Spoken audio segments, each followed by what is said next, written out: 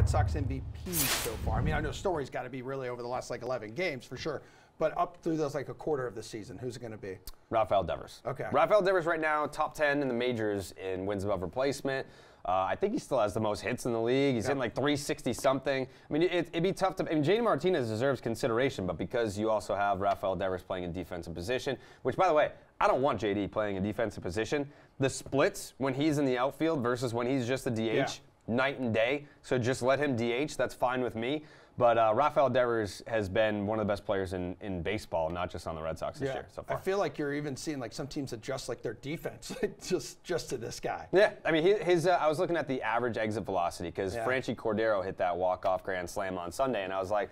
I want to see where Franchy is mm-hmm. in average exit velocity right now because he hits the ball really hard. And then you have Franchy was like right in like 89 miles an hour, and then you had Rafael Devers was leading the team at like a 96 mile. He hits the ball hard every single time. Uh, so Devers, Bogaerts, Martinez, Story, they have a 929 OPS and 20 home runs this month. So pretty hey, good. Sox kind of getting a little bit of hot, little hot there, right? Mm-hmm, pretty good. Yeah, you that, but we're not going to say it, right? No, we're not going to say we're it. We're not going to say it. I didn't just say it. We maybe we could bleep that out.